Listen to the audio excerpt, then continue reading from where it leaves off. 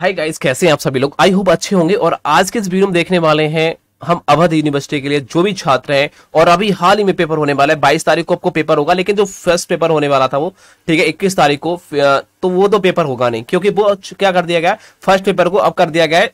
चौदह अगस्त में, क्योंकि जो फ़र्स्ट इक्कीस तारीख को जो पेपर था, वो चौदह अगस्त को डाल दिया गया। तो ये पेपर चौदह अगस्त को होगा। बाकी सेकंड पेपर जो हुआ है, वो क्या होने वाला है? लेकिन फिर भी आपको इंपोर्टेंट क्वेश्चन दे देता हूँ। आपको बस यही पढ़ना है, बाकी कुछ मत पढ़िएगा। देखिए, जो भी अवध यूनिवर्सिटी के हैं, राम, मनोहर, लवत कह सकते हैं ना? लोहिया अवध यूनिवर्सिटी ठीक है? जो आपकी है, राम, मनोहर, लोहिया अवध यूनिवर्सिटी है, और जो अवध यूनिवर्सिटी है, जो बीएससी थर्ड ईयर के छात्र हैं उनको आप देख रहे हैं कि जो पेपर होने वाला था फ़र्स्ट पेपर वो अब सीधा वही होगा, चौदह अगस्त को होगा। क्योंकि जो क्या है कि जो इक्कीस तारीख को जो एग्ज़ाम जो भी इक्कीस तारीख को होने वाला था, बकरा ईद के कारण जो है ना, ईद उल फितर तो उसके कारण क्या है, बकरी ईद जो है, वो लास्ट में कर दिया गया उसके कारण। और जो तीस तारीख को जो पेपर था, वो अठारह तारीख को कर दिया गया है, ठीक? क्योंकि तीस तारीख को बी एड एंट्रेंस एग्ज़ाम परीक्षा हो रही है, पूरे यूपी में तो इसलिए। तो यहाँ मैं आपको बता दूँ, देख सकते हो। आपको देखिए क्या क्या क्वेश्चन याद करना है बीएससी थर्ड ईयर वालों के लिए। फिजिक्स के फ़र्स्ट पेपर में कौन कौन से क्वेश्चन देखना है? अवध यूनिवर्सिटी छात्र वही देखें, बाकी कुछ और ना देखें। बाकी इसके अलावा कुछ और पढ़ने की ज़रूरत नहीं पड़ेगी। मैं आपसे वादा करता हूँ कि आपको पिचानवे परसेंट, यहीं से ले लेना, नब्बे पाँच पिचानवे परसेंट, कुछ भी बाहर नहीं जाएगा। पहला क्वेश्चन, टिक लगा लो फटाफट। आपके बुक नोट्स गैस पेपर जो भी है तो आपको ये देखना है, माइकलसन मॉर्ले का प्रयोग। इसको आप याद कर लेना है। फर्मी ऊर्जा क्या होती है? फर्मी ऊर्जा। फर्मी ऊर्जा क्या होती है? शॉर्ट में पूछेगा कि फर्मी ऊर्जा क्या होती है? बताइए। यह फर्मी लेवल, देखिए, फर्मी ऊर्जा फर्जी और फर्मी लेवल जो होता है, जिसे स्तर कहते हैं, फर्मी स्तर, ये दोनों परिवार हो सकता है, बहुत ज़्यादा इंपॉर्टेंट है। नेक्स्ट क्वेश्चन आपसे पूछता है, आइस्टीन के द्रव्यमान संबंध जो ऊर्जा नियम होता है, ठीक है, जो ऊर्जा, कह सकते हैं, द्रव्यमान ऊर्जा संबंध है उसके बारे में जैसे कि ई e बराबर एमसी स्क्वायर ये पूछ लेगा। ये आपसे इसमें ही एक क्वेश्चन पूछता है जो बहुत ज़्यादा इंपॉर्टेंट है, जिसे कहते हैं बेग के साथ द्रव्यमान की भिन्नता। बेग के साथ द्रव्यमान की भिन्नता क्या होती है, आप ये याद करेंगे। और आदर्श गैस समीकरण को भी आप याद करेंगे। मोस्ट इंपोर्टेंट है आदर्श गैस समीकरण। उसके बाद में देखिए नेक्स्ट क्वेश्चन आपसे पूछा जाता है कि आइस्टीन के प्लांक का जो विकरण नियम है, उसके बारे में बताइए। आइस्टीन के प्लांक का विकरण नियम। अब देखिए, एक क्वेश्चन सबसे ज़्यादा रिपीट होता है, वो मैं आपको क्वेश्चन बताने वाला हूँ। ये क्वेश्चन आता है, फर्मी रिडॉक वितरण क्या होता है? याद रखिए, फर्मी रिडॉक वितरण। याद रखिए मोस्ट इंपोर्टेंट है। ये आपसे पूछ लेगा, फर्मी रिडॉक विकरण।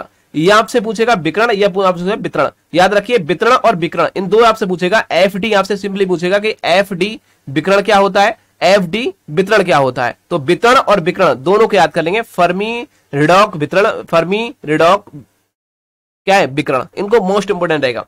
उसके बाद में देखिए, यहाँ बोला गया है समय विस्तारण क्या होता है? समय विस्तारण को याद करेंगे। ये समय जो विस्तारण है, उसके बारे में याद करेंगे। नेक्स्ट क्वेश्चन आता है कह सकते हैं ल्यूवेन प्रमेय के सिद्धांत। ल्यूवेन प्रमेय का सिद्धांत क्या था? उसके बारे में, उसके महत्व के बारे में।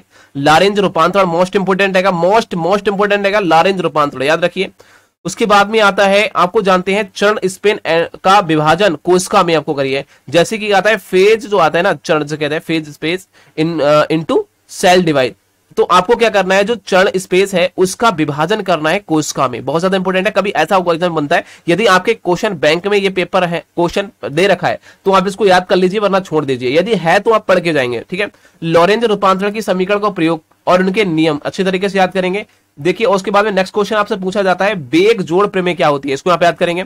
उसके बाद में नीचे जाइए और आदर्श समीकरण में ऊपर दे चुका हूँ, जिसको आपको क्या देखना है? वोल्टेज, ज़मीन की एंट्रोपी और प्रयोगता जिसे हम प्रोबेबिलिटी कहते हैं, उसमें संबंध पूछ लेता है, जो आदर्श गैस समीकरण के द्वारा आपको याद करनी होती है। तो आदर्श गैस समीकरण में ऊपर दे चुका हूँ तो आपको ज़रूरत नहीं है इसको पढ़ने की। वही आपको पूरा क्लियर हो जाएगा। लेकिन उसमें एंट्रोपी और प्रयोगता को ज़रूर देख लेना, ठीक है? नेक्स्ट क्वेश्चन आपसे पूछता है, देखिए, मैंने अभी आपको बताया था कि जो बोस आइस्टीन थे, उनके संज्ञा के विकरण के नियम एक होता है विकरण का नियम, एक होता है वितरण का नियम। इन दो में से एक पूछता है, वही मैं ऊपर बता रखा है कि जो एफडी होता है, एफडी, जिसे हम कहते हैं फर्मी रिडॉक फर्मी रिडॉक वितरण क्या होता है? फर्मी रिडॉक विकरण क्या होता है? ये दो पूछ लेता है, विकरण और वितरण के बारे में। अच्छी तरीके से याद कर लीजिए। शून्य अवस्था सॉरी सूक्ष्म अवस्था क्या होती है? आप इसको याद करेंगे। नेक्स्ट क्वेश्चन आपसे पूछता है कि मैक्सवेल के बेग वितरण के नियम। बेग वितरण नियम बहुत ज़्यादा इंपोर्टेंट है। मैक्सवेल का बेग वितरण नियम याद करेंगे। ज्वर्त, देखिए, पृथ्वी का ज्वर्त फ्रेम के बारे में याद करेंगे। निर्देशांतर से क्या समझते हैं? प्रोबेबिलिटी क्या होती है? प्रोबेबिलिटी की परिभाषा मैंने ऊपर बताया, वही याद करेंगे। द्रव्यमानहीन कण कौन कौन से होते हैं, उसको याद करेंगे। जैसे कि वोल्टेज एंट्रोपी, देखिए, यह बोल्ट ज़मीन एंट्रोपी में संबंध। मोस्ट इंपोर्टेंट है, बोल्ट ज़मीन एंट्रोपी में संबंध आपको पढ़ लेना है। अब आप जानते हैं, देखिए आर एम एस स्पीड क्या होती है? याद रखिए R M S speed and most जो होता है ना, मोस्ट प्रोबेबल स्पीड वैल्यू, जिसे गतिमान कहते हैं। कि मतलब गति और गतिमान में अंतर जो होता है, उसको आप अच्छी तरीके से देख लेंगे मोस्ट इंपोर्टेंट है। साथ ही साथ आप ये भी देख सकते हैं, गति क्या होती है और वेग का वितरण क्या होता है। इन दोनों में अंतर पूछ लेता है। स्पीड और इवलिसिटी में। याद रखिए, बहुत अच्छी तरीके से याद करेंगे जो आपको होता है, वितरण, वेग वितरण नियम में आपको इनको दोनों को अंतर देख लेना है। उसके बाद में नेक्स्ट क्वेश्चन आपसे पूछ लेता है कि संख्या के अंतर के मुख अभिग्रहित कीजिए। तो ये कौन से आप तैयार कर सकते हैं?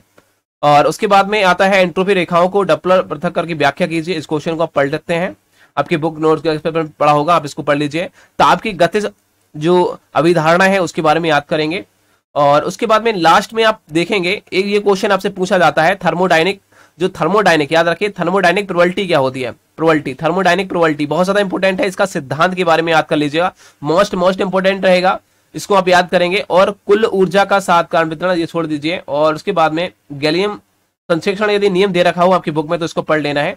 और फ़ोन ब्लॉक बॉडी जो चैम्बर होता है देखिए फोटोन इन जो ब्लॉक बॉडी चैम्बर होता है, यदि इसको दे रखा हो तो पढ़ लेना, वरना इसको छोड़ देना। जो आपको ऊपर मैंने दे रखा है, बस इतना क्वेश्चन पढ़ना है, बाकी कुछ नहीं पढ़ना। इसके सेकंड पेपर में जो भी क्वेश्चन इंपोर्टेंट होंगे, वो अभी हम हाल ही में अपलोड कर देंगे वीडियो को।